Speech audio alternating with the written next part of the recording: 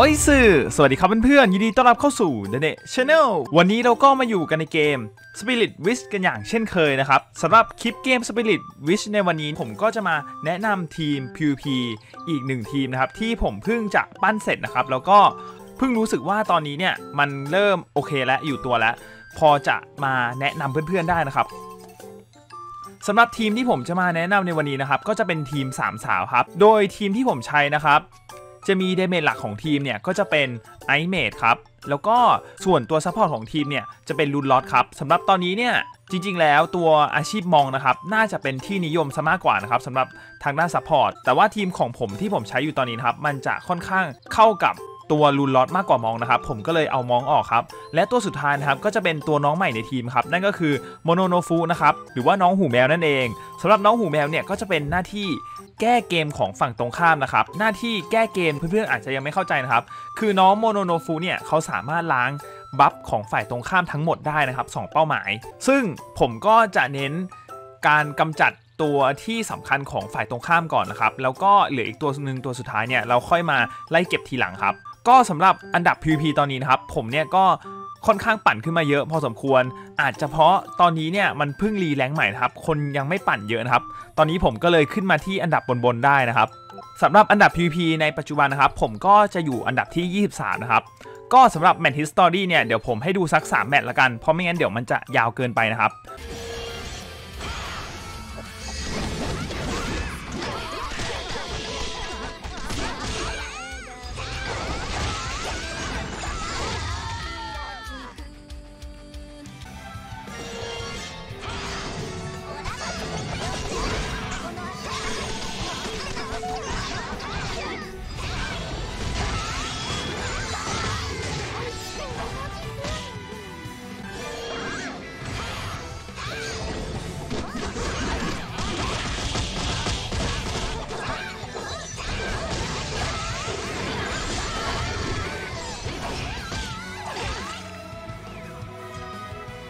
ก็สำหรับ combo การต่อสู้ของ comp นี้นะครับ ก็จะเป็นประมาณที่เพื่อนๆเพิ่งได้ดูจบไปนะครับ ก็สำหรับต่อมานะครับ เดี๋ยวผมจะมาแนะนำแต่ละตัวละครของผมนะครับ ว่าใส่อะไรบ้าง set skill ของแต่ละตัวเนี่ยผมใช้อะไรบ้างนะครับ ก่อนอื่นนะครับ ตัวแรกเลยเดี๋ยวเราไปดูกันที่ Mage น้ำแข็ง damage หลักของทีมกันก่อนเลยดีกว่าสำหรับ Mage น้ำแข็งนะครับนี่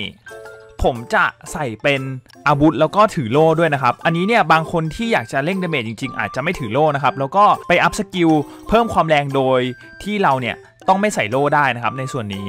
ก็สำหรับอาวุธของ Mage น้ำแข็งนะครับ ผมจะมีเป็นสเต็ง4ครับ แล้วก็เพิ่มความแรง Frost skill นะครับ อีก 10.5%ส่วนโล่เนี่ย ผมก็จะมีเป็นเพิ่มความแรง Frost 10.1%นะครับ กับ Attack บวกอีก 400 ครับ แล้วก็เสื้อเนี่ยผมก็อันนี้ถ่ายโอนมาจากนักขนูอ้วนนะครับ อันนี้ก็ไม่ได้เปลี่ยนอะไรเลย ก็จะมีสเต็งบวก3นะครับ แล้วก็จะมีกันฟอสกับกันแสงนะครับ ส่วนกางเกงเนี่ยก็จะเป็นสเต็ง4ครับ แล้วก็จะมีหลบ 45 ส่วนอันบนเนี่ย HP Recovery Item เนี่ยก็ใช้ไม่ได้ใน PVP นะครับ แล้วก็ประดับของบอสเนี่ยผมก็จะทำแค่บวกบวกนะครับ แล้วก็ส่วนแหวนเนี่ยก็จะเป็นบวกบวกเหมือนกัน แต่ว่ามีตีบวกหนึ่งนะครับ ส่วน costume นะครับผมก็จะมีชุด Mage เป็น 2 ชุดนะครับ อันนี้คืออันนี้ได้มาจากที่ผมซื้อ 1 ชุดนะครับ แล้วก็อันนี้เนี่ยได้จากอีเวนต์นะครับ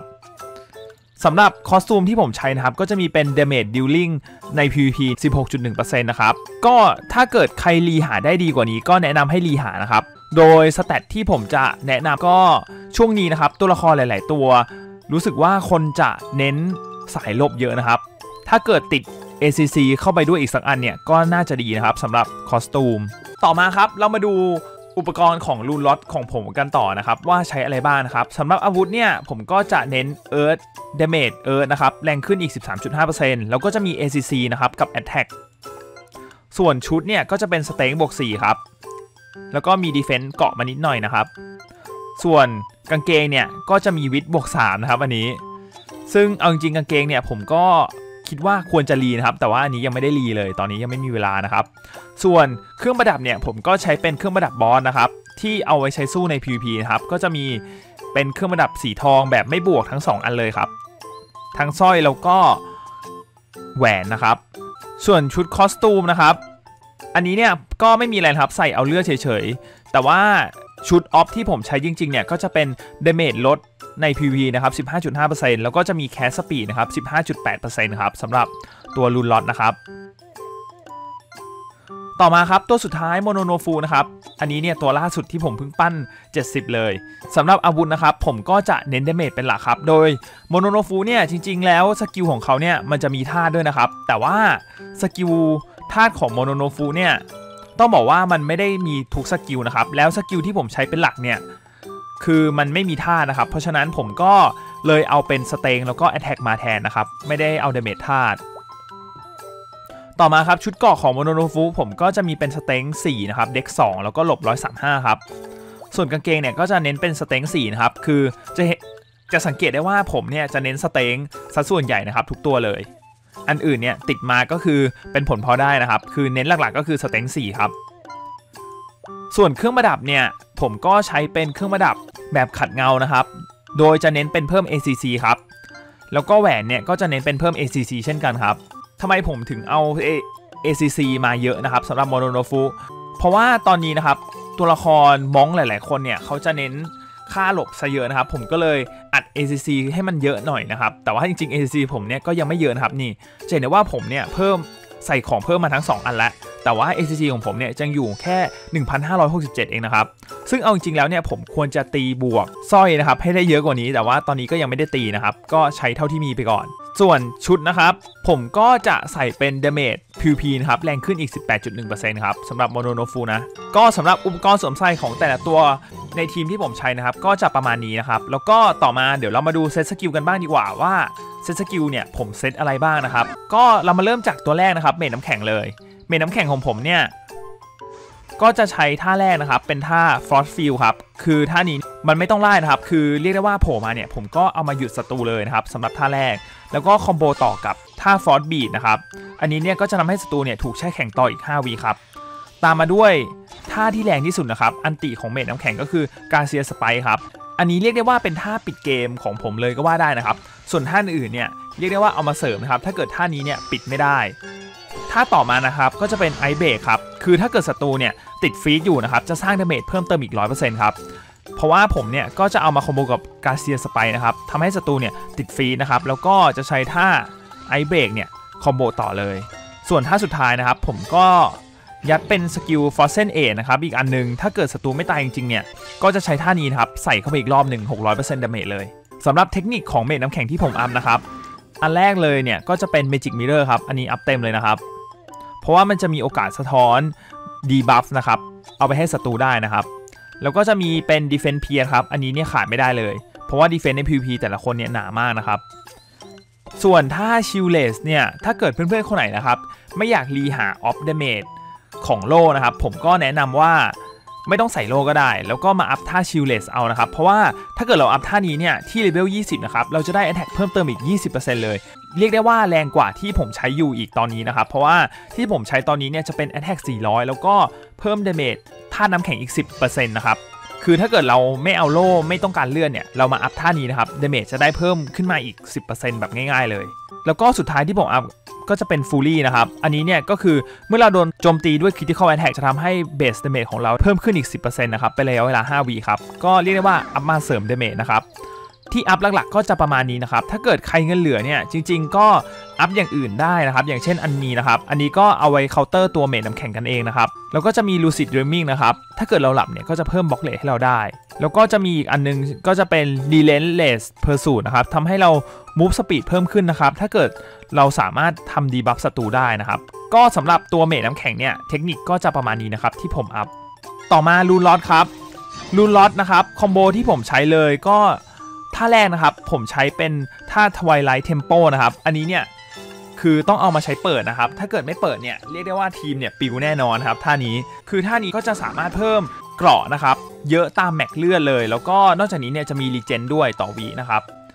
ท่าที่2นะครับที่ผมเอามาใช้เลยก็จะเป็นท่า Moonlit Lake นะครับสำหรับท่านี้ก็สามารถลด defense ของศัตรูนะครับได้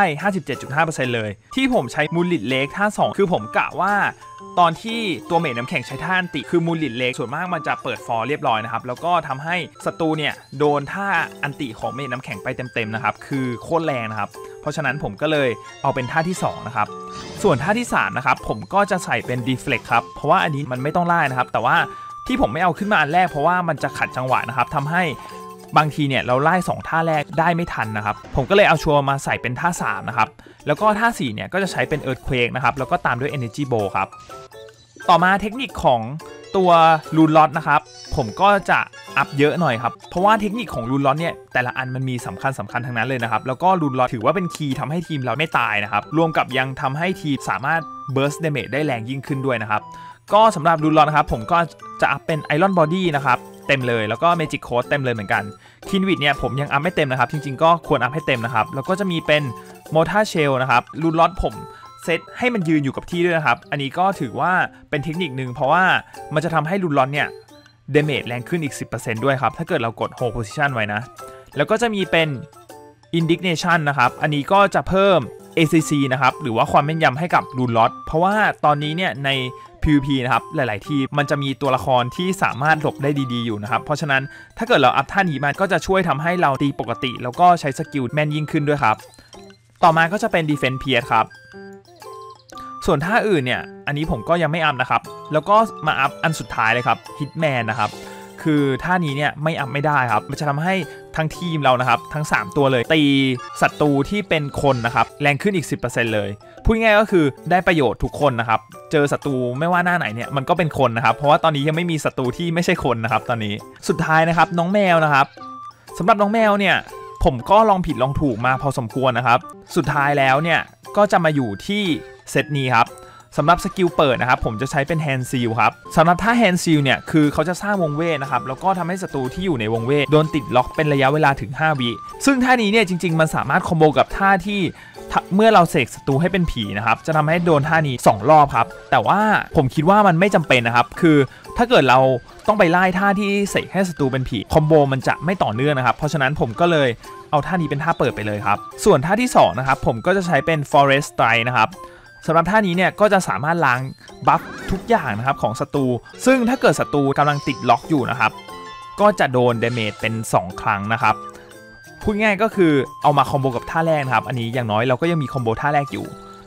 และที่สำคัญ Forest Strike เนี่ยมันค่อนข้างแรงนะครับ ซึ่งเทคนิคที่ผมใช้นะครับ ในทีมของผมคือ ผมจะเน้นเล็งมองฝ่ายตรงข้ามเป็นหลังนะครับ เพราะว่าเพื่อนๆจะมีปัญหานะครับ เวลาสู้ PVP หลาย ๆ รอบ คือเราสามารถเก็บตัวละครตัวอื่นได้ใช่ไหมครับ แต่ว่ามองของฝ่ายตรงข้ามเนี่ยมันไม่ตาย พอมันไม่ตายเสร็จแล้วเนี่ย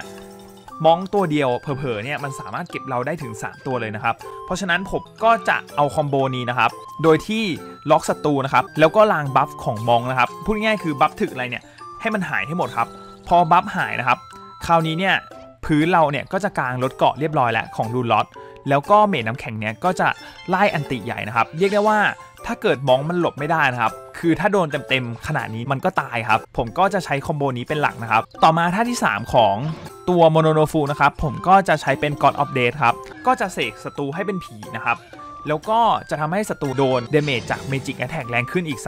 34.7%ด้วย ซึ่ง Magic Attack มันมาจากไหนนะครับ คือต้องบอกว่าทีมของผมนะครับ ทุกตัวเนี่ยมันเป็นตัวเวทหมดเลยครับ เพราะฉะนั้นทุกตัวสามารถทำโบนัสได้แรงหมดนะครับ ต่อมาสกิลที่ 4 นะครับ ผมก็จะเน้นเป็น damage นะครับ ก็จะเป็นโลตัสครับสำหรับท่านี้เอาจริง ผมก็ไม่รู้สึกว่ามันแรงเท่าไหร่นะครับ แต่ว่ามันเป็นคอมโบเวทนะครับ ผมก็เลยใส่มานะครับ เพราะว่ามันเป็นท่า damage ด้วย ส่วนสุดท้ายผมก็จะใส่เป็น Iaido นะครับ อันนี้ผมรู้สึกว่าจะอ่านผิดนะครับ มีคนมาคอมเมนต์บอกว่าจริง ๆ แล้วมันอ่านว่า Iaido นะครับ น่าจะเป็นเสียงของภาษาญี่ปุ่นนะครับ อันนี้จะทำให้ศัตรูโดน 340% damage นะครับ และที่สำคัญท่านี้มันจะติด cri แน่นอน 100%นะครับ เพราะฉะนั้น damage ก็จะค่อนข้างแรงนะครับสำหรับท่านี้ ซึ่งเราเนี่ยจะมีลดเกราะของRuneRod อยู่แล้วด้วย เพราะฉะนั้นท่านี้ผมคิดว่ามันน่าจะแรงพอสมควรนะครับ ผมก็เลยใส่มาเป็นท่าปิดนะครับท่าสุดท้ายของน้องแมวโมโนโนฟู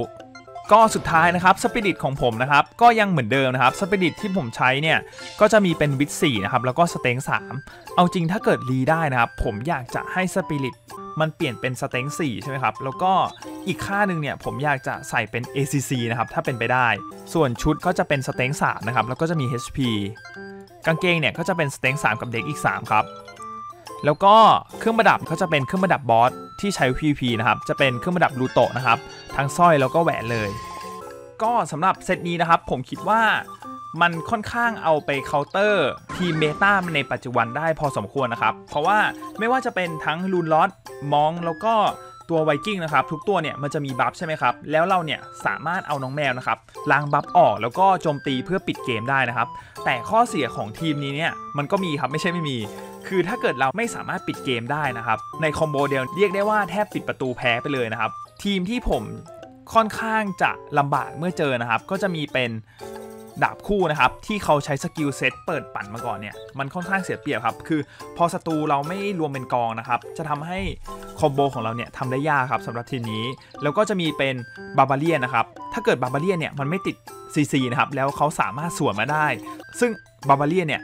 damage มันแรงมากๆนะครับอย่างแรกเลย แล้วอย่างที่ 2 เลยก็คือ stun เขาค่อนข้างเยอะนะครับ จะทำให้มีโอกาสเนี่ยโดนปิดเกมได้ง่ายนะครับ ถ้าเกิดเจอ Barbarian แล้วเราเก็บ Barbarian ไม่ได้นะครับ แล้วก็สุดท้ายนะครับ ที่แพ้เป็นหลักเลยก็คือ Monk ครับ คือเราเนี่ยเซตมาเพื่อ counter Monk โดยเฉพาะใช่ไหมครับ แต่ว่าถ้าเกิดเราเก็บ Monk ไม่ได้นะครับ แม้ว่าเราจะเก็บไปอีก 2 ตัวได้ แล้ว Monk ศัตรูเนี่ยเขาใส่อุปกรณ์ที่หลบค่อนข้างเยอะนะครับ damage ไม่พอปิดเกมนะครับ ก็คือ Monk เนี่ยมันสามารถตัวเดียวเก็บทีมผมเนี่ยได้ทั้ง 3 ตัวเลย ก็สำหรับคลิปในวันนี้นะครับ แนะนำทีม PVP ที่ผมใช้นะครับ ก็จบเป็นที่เรียบร้อยครับ ซึ่งถ้าเกิดเพื่อนๆ คนไหนที่กำลังปั้นน้องแมวโมโนโนฟู Mage น้ำแข็งหรือว่า RuneRod เนี่ย ก็อาจจะพอเอาไปเป็นไอเดียนะครับ ปรับใช้ให้เข้ากับทีมที่เพื่อนๆใช้อยู่ได้นะครับในปัจจุบันสำหรับตัวต่อไปนะครับที่ผมจะปั้นจริง ๆ แล้วตอนแรกผมก็อยากจะปั้น Vanguard นะครับแต่ว่าตอนนี้ก็ไม่ทันละ Vanguard มันออกจากร้านค้าไปแล้วนะครับ ตอนนี้ผมก็กะรอตัวใหม่นะครับสำหรับอาชีพโจรเนี่ยผมก็คิดว่าอาจจะไม่ได้ปั้นนะครับ ก็อาจจะเอาของคนอื่นมารีวิวนะครับ ถ้าเกิดมีโอกาส ไอ้ summon pick up โจรเนี่ย มันก็ใกล้หมดแล้วนะครับ เหลืออีกแค่ 1 วันกับอีก 11 ชั่วโมงนะครับ ตั้งแต่วันที่ผมอัดคลิป เพราะฉะนั้นถ้าเกิดตรงนี้มันหมดเนี่ย ผมก็คิดว่ามันจะมีโอกาสนะครับ ที่เขาเจะเอาตัวละครใหม่เนี่ย อัปเดตเข้ามานะครับ ก็เดี๋ยวเราต้องมารอลุ้นกัน หรือว่าจะเป็นแบบเดิมนะครับ ที่ตอนผมก็เคยพูดแบบนี้นะครับ แต่ว่ามันยังไม่เอาโจรเข้ามาครับ มันเพิ่มยืดระยะเวลาตู้ออกไปแทนนะครับ อันนี้ก็เดี๋ยวเราต้องมาดูกันนะครับ อีกแค่วันกว่าๆนะครับ วันครึ่ง ว่ามันจะมีตัวละครใหม่ไหม ถ้าเกิดมีตัวละครใหม่น่าสนใจเนี่ย ผมก็อาจจะรีบจัดนะครับแพ็คแล้วก็รีบมาอัพเพื่อรีวิวให้เพื่อนๆกันเลยสำหรับวันนี้เดี๋ยวผมก็ต้องขอตัวลาไปก่อนแล้วสำหรับเพื่อนๆคนไหนเนี่ยที่มีคอมเมนต์สงสัยนะครับเรื่องทีม PVP เกี่ยวกับสามตัวละครตัวนี้เนี่ยก็ลองเม้นต์มาถามดูได้นะครับ ถ้าเกิดผมพอที่จะช่วยได้ก็จะช่วยอย่างเต็มที่ครับสำหรับคลิปในวันนี้เดี๋ยวผมต้องขอตัวลาไปก่อนแล้วแล้วเดี๋ยวเรามาเจอกันใหม่ในคลิปหน้าสำหรับวันนี้ สวัสดีครับ